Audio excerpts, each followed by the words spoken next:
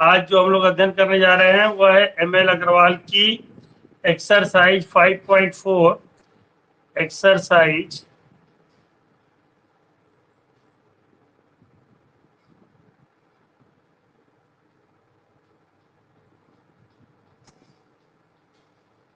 Five point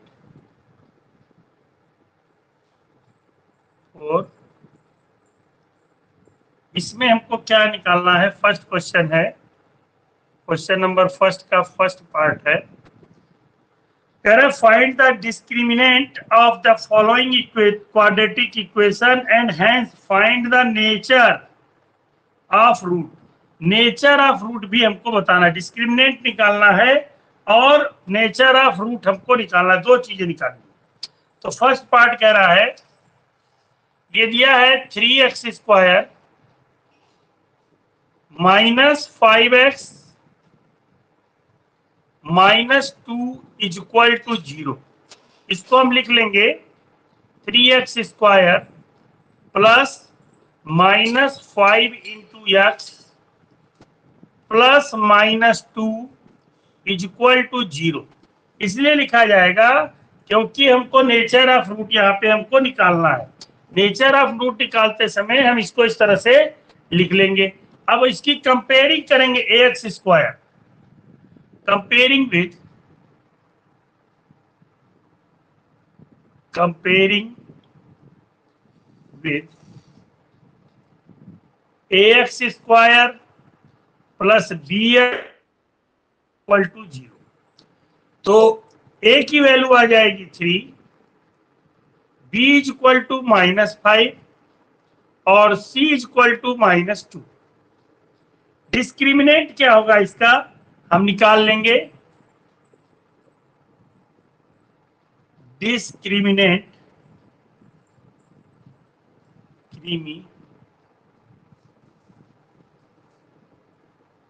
criminate is equal to हो जाएगा discriminant की वैल्यू हो जाएगी ये हो जाएगी B square minus four A C B square minus four A C E square का मान करेंगे तो माइनस फाइव का square minus four into A की वैल्यू है थ्री और सी की वैल्यू है minus two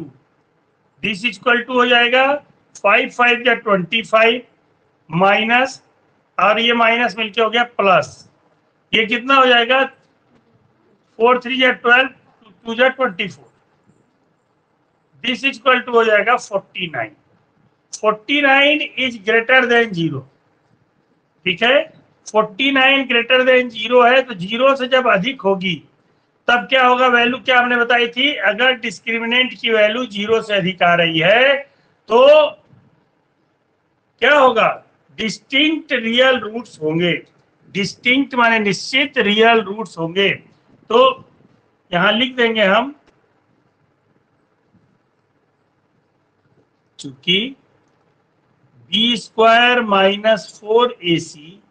is greater than 0. Thus, equation has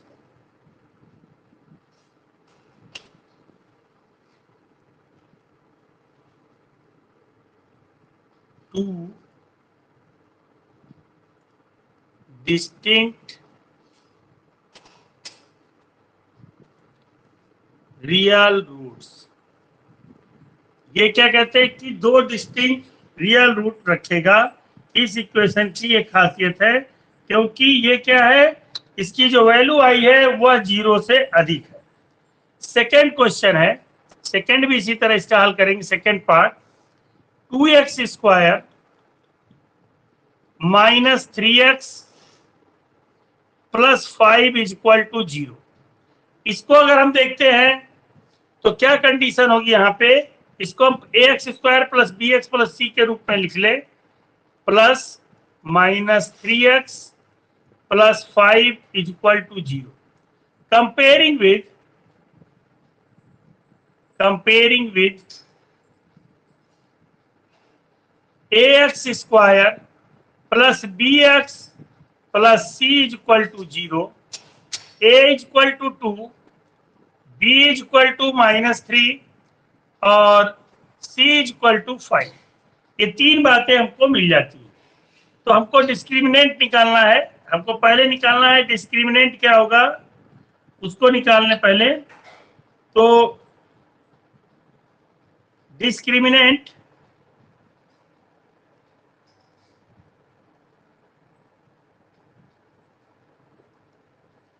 discriminant is equal to हो जाएगा b square minus four a c b की वैल्यू है minus three a two of c five this equal to minus three का square minus four into a की value कितनी थी two c की five two into five this equal to three three जा nine minus five two जा ten और ten four जा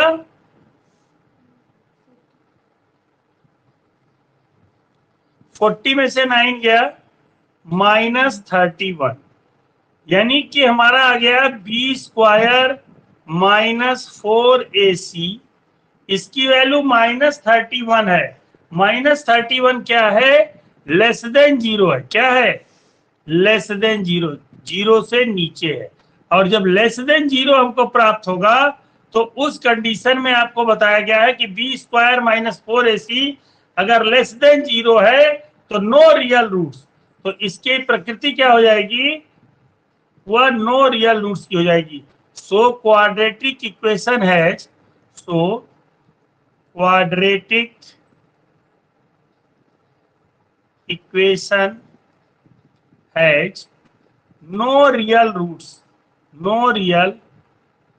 roots इसके कोई भी रियल रूट्स हमको प्राप्त नहीं होंगे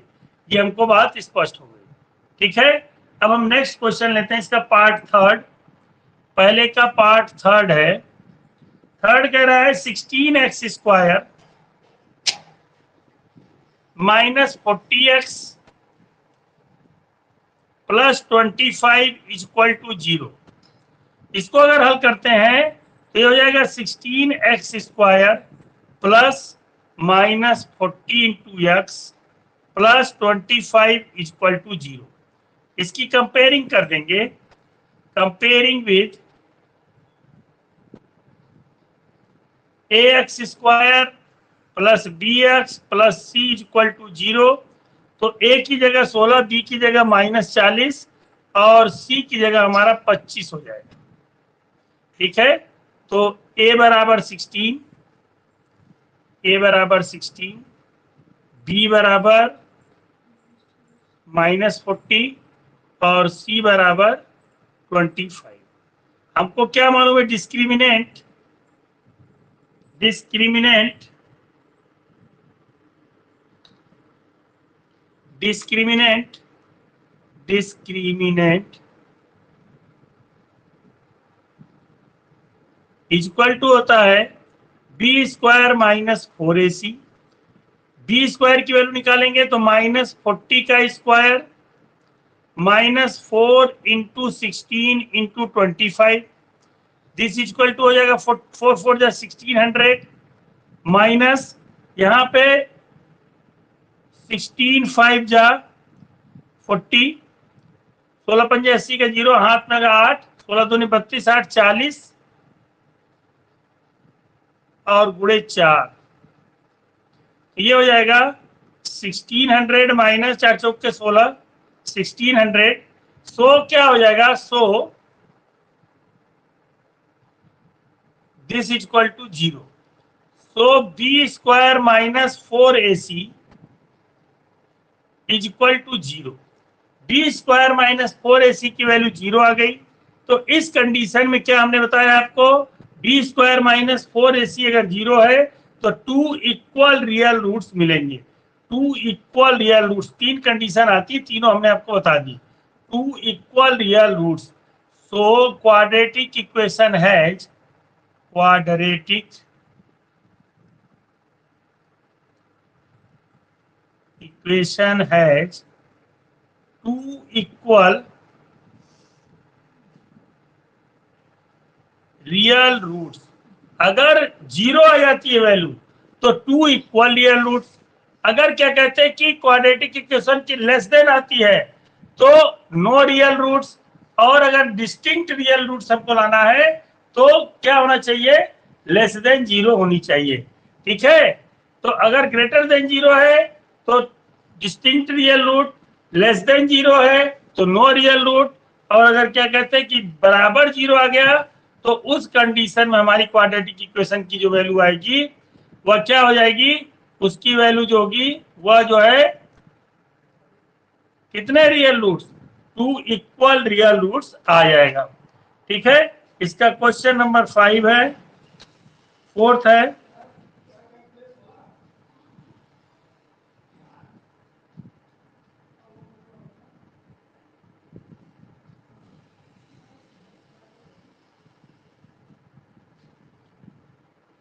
x square plus fifteen x plus thirty is equal to zero इसको अगर हम हल करते हैं तो इसमें सीधे सीधे हमको मिल जाएगा ए बराबर दो बी बराबर फिफ्टीन सी बराबर थर्टी तो ये क्या हो जाएगा डिस्क्रिमिनेंट क्या हो जाएगा इसका डिस्क्रिमिनेंट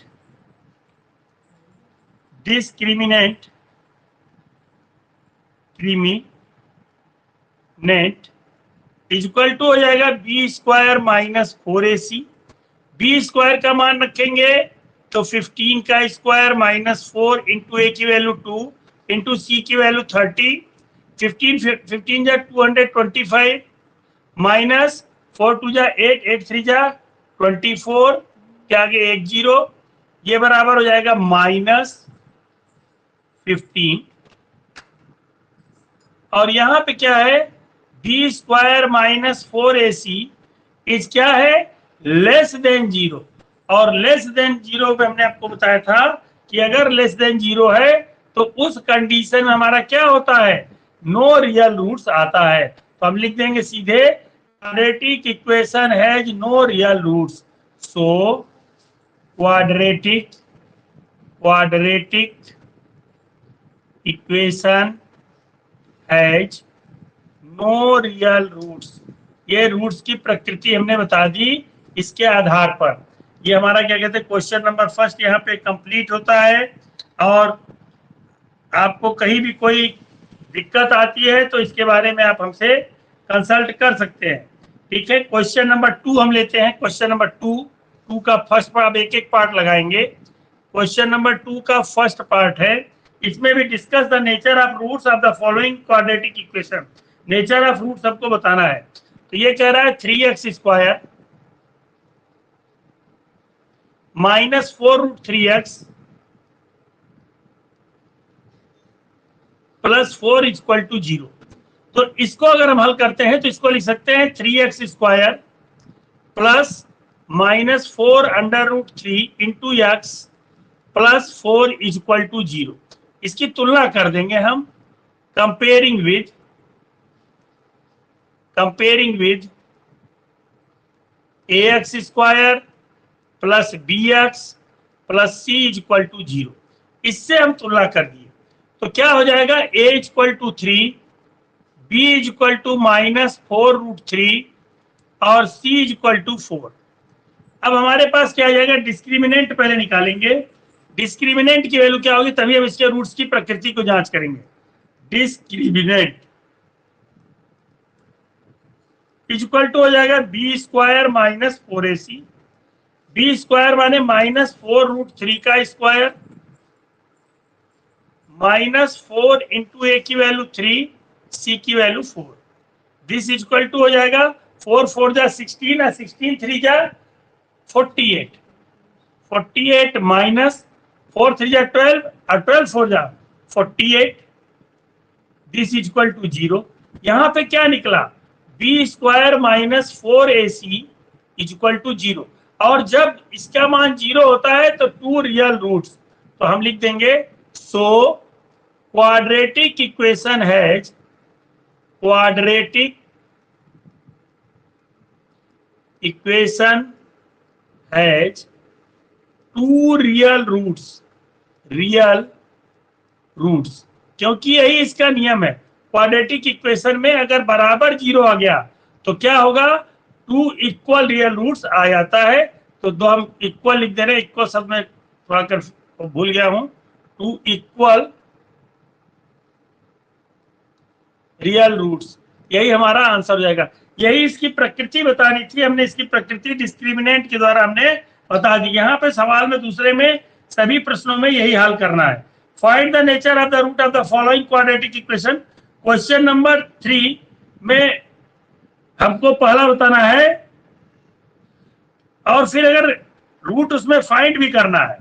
तीसरे का पहला फर्स्ट दिया है x square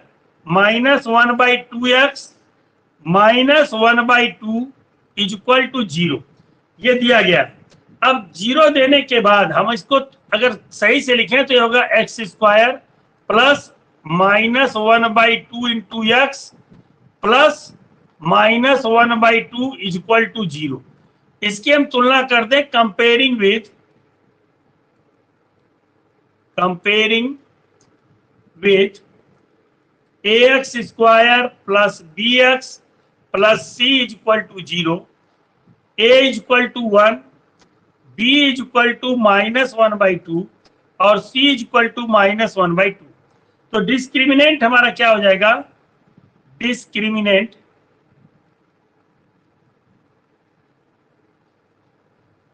equal to B square minus four A C B square minus four A C minus one by two का whole square this equal to minus one by two का whole square minus four A की value one और C की value minus one by two यह आ गई इसकी C की वैल्यू अब वन बाई टू का होल स्क्वायर करेंगे तो ये क्या हो जाएगा ये हो जाएगा वन बाई फोर माइनस यहां पे टू वन जा टू टू टू जा फोर तो ये हो जाएगा minus minus plus plus two ये हो जाएगा बराबर कर देंगे तो टू वन बाई फोर ये हमारा इसका डिस्क्रिमिनेंट की वैल्यू आ जाएगी टू वन बाई फोर इसकी वैल्यू आ गई अब ये क्या है चूंकि b square minus four a c b square minus four a c is greater than zero zero से अधिक है तो इसके रूट्स क्या होंगे टू डिस्टिंक्ट रियल रूट्स आएंगे इसके अगर ग्रेटर देन जीरो है तो शुरू में ही बताया गया है कि अगर ग्रेटर देन जीरो है तो टू डिस्टिंक्ट रियल रूट्स इसके प्राप्त होंगे सो क्वाड्रेटिक इक्वेशन है two distinct real roots So, quadratic equation has two distinct real roots अब कैसे निकालेंगे फार्मूले में मान रखेंगे x इज इक्वल टू होगा minus b plus minus under root b square minus four a c upon two a अगर हम हल करते हैं तो हमारे पास b की वैल्यू क्या थी b की value minus one by two c minus one by two a one तो b की वैल्यू हम रख देंगे minus minus one by two plus minus under root b square minus four a c की value हमने अभी निकाली है ये है टू वन बाई फोर और इसको अगर हम कर दें हल तो फोर टू जा eight one nine by four तो इसकी वैल्यू आ जाएगी nine by four upon two a two cross a की वैल्यू है वन तो ये हो जाएगा minus minus plus one by two plus minus nine by four का अगर वर्गमूल लेंगे तो यह आ जाएगा three by two upon two तो x की दो वैल्यूज प्राप्त हुई x इक्वल टू हो गया one by two plus three by two upon two और दूसरी वैल्यू हमको मिली one by two minus three by two upon two ये वन बाई टू में थ्री बाई टू जोड़ेंगे तो फोर बाई टू आएगा अब फोर बाई टू करेंगे तो टू हो जाएगा सीधे तो ये हो जाएगा टू बाई टू और इसको करेंगे तो वन बाई टू घट जाएगा तो टू बाई टू मतलब वन हो जाएगा तो ये हो जाएगा minus one by two minus ये वन हो जाएगा वन अपॉन टू जो है नीचे हो जाएगा तो इसकी दो वैल्यूज प्राप्त हुई एक एक प्राप्त हो गई दूसरी माइनस वन बाई टू तो ये हमारा आंसर आ गया पहला तो हमको ये चीज पता चल गई इसमें कि क्या क्या चीजें दी गई हैं पहले इक्वेशन दिया गया था इक्वेशन को हमने क्या किया a x square plus b x plus c के रूप में हमने कन्वर्ट कर लिया कन्वर्ट करने के बाद जब हम इसको a x square plus b x plus c के रूप में हमने कन्वर्ट किया तो वहां पे हमको ए की वैल्यू वन बी की value minus one by two और सी की value minus one by two मिल गई डिस्क्रिमिनेंट निकाला minus B square minus four A C बराबर निकाल लिए पहले बी स्क्वायर के माइनस वन बाई टू का स्क्वायर माइनस फोर गुड़े ए का मान वन गुड़े सी का मान माइनस वन बाई टू फिर इसको हमने आगे हल किया हल करने पे क्या हो गया इसको वन बाई टू का जब स्क्वायर करेंगे तो वन बाई फोर अब प्लस ये कट के क्या हो जाएगा टू तो इसकी वैल्यू टू आ गई अब टू में हमने one by two one by four जोड़ दिया तो टू वन बाई फोर हो गया और इसको हम चाहते तो यहाँ पे लिख सकते थे टू टू या फोर वन फोर टू या eight one nine nine by four हमने नाइन बाई फोर इसको लिख सकते थे अब हमको इस क्वेश्चन के पता चला कि ये जो मान आया है ये ग्रेटर देन जीरो है ग्रेटर देन जीरो पे टू डिस्टिंक्ट रियल रूट सबको प्राप्त होते हैं हमने minus b square plus minus under root b square minus four a c बटा टू ए फार्मूला इस्तेमाल किया इस्तेमाल करने के बाद हमने क्या देखा ये सवाल जो हल करने पे हल करते हैं तो दो मान हमको प्राप्त हुए one by two plus three by two upon two one by two minus three by two upon two तो one by two three by two जोड़े तो फोर बाई टू हो गया फोर बाई टू को भाग दे दिए दो से तो क्या हो जाएगा दो हो जाएगा तो दो बटा दो एक हो गया दूसरा हो गया वन बाई टू अगर निकल जाएगा थ्री बाई टू में से तो टू बाई टू मतलब वन हो गया वन बाई टू माइनस का हो गया तो दो इसके मान हमको मिल गए वन और दूसरा मान निकला माइनस वन बाई टू तो हम लोग एक्सरसाइज 5.4 के सवाल नंबर तीन तक लगा लेंगे और नेक्स्ट के लिए कल जो दूसरी वीडियो बनेगी उसमें हम लोग देखेंगे धन्यवाद